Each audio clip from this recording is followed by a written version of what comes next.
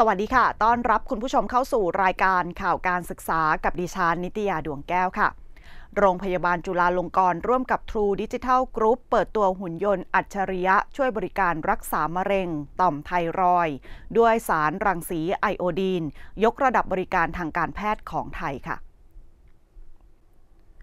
โรงพยาบาลจุฬาลงกรณ์สภากาชาติไทยร่วมกับ True Digital Group จัดเวทีแถลงข่าวเปิดตัวหุ่นยนต์อัจฉริยะช่วยบริการรักษามะเร็งต่อมไทรอย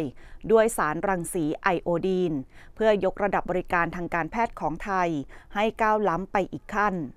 โดยมีรองศาสตราจารย์นายแพทย์ฉันชายสิทธิพันธ์ ผู้อำนวยการโรงพยาบาลจุฬาลงกรณ์สภากาชาติไทย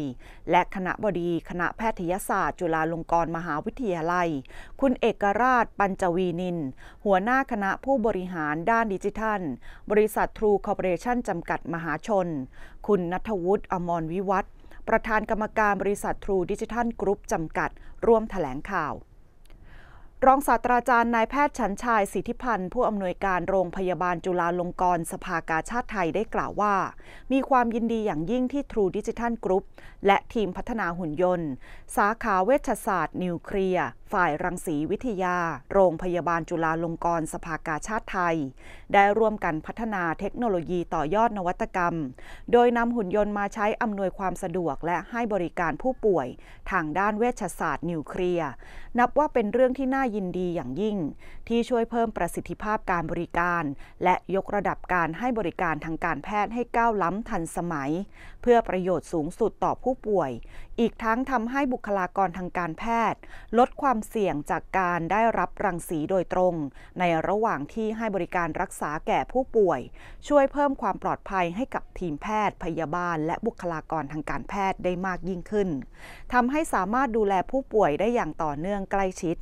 ทั้งนี้ต้องขอขอบพระคุณผู้ร่วมสนับสนุนในด้านต่างๆ ที่ช่วยกันพัฒนานวัตกรรมเทคโนโลยีสุดล้ำหุ่นยนต์อัจฉริยะ ช่วยบริการรักษามะเร็ง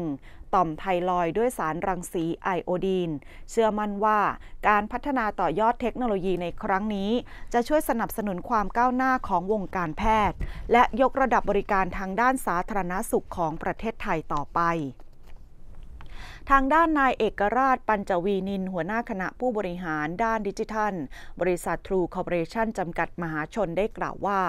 การพัฒนานวัตกรรมหุ่นยนต์อัจฉริยะ ช่วยบริการรักษามะเร็งต่อมไทรอยด้วยสารรังสีไอโอดีน ภายใต้ความร่วมมือกับโรงพยาบาลจุฬาลงกรณ์สภากาชาติไทยในครั้งนี้